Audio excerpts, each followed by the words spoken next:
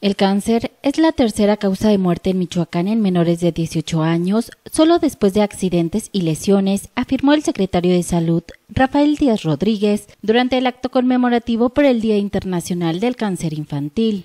Las tasas de sobrevida de este problema, por supuesto, están íntimamente relacionadas con la detección oportuna y el tratamiento adecuado para estos casos. El cáncer infantil es la segunda causa de muerte en niños de 5 a 15 años a nivel nacional.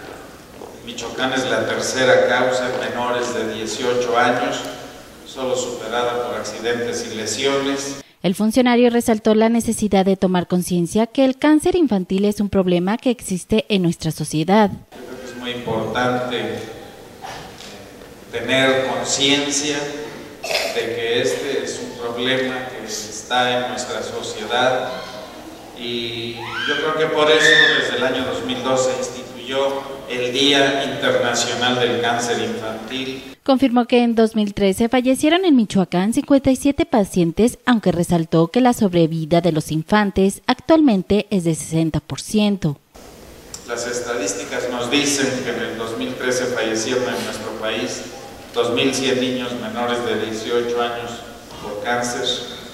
En Michoacán, en este mismo lapso, fallecieron en el 2013 57 pacientes y eh, lo bueno es que con este tratamiento, con este ejército que enfrenta este flagelo, la sobrevida de los niños con cáncer está cercana al 60%. Casi la mitad de los niños con cáncer registrado en el hospital infantil ya han sido dados de alta. Nuestro programa en el hospital infantil tiene 1.270 niños registrados, de los cuales 511 han sido dados de alta por curación y se mantienen, por supuesto, en vigilancia.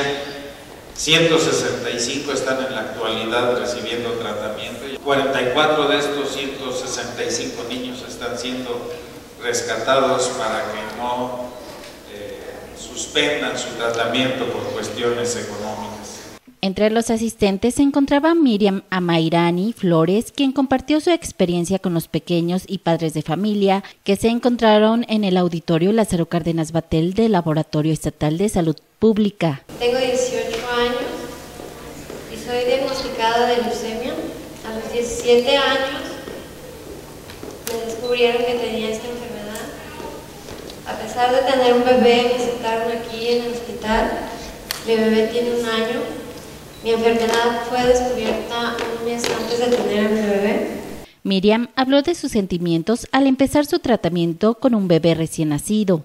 Al principio me dio mucho miedo, pero más que nada sentí tristeza porque tenía que dejar a mi bebé para venir a mis quimioterapias.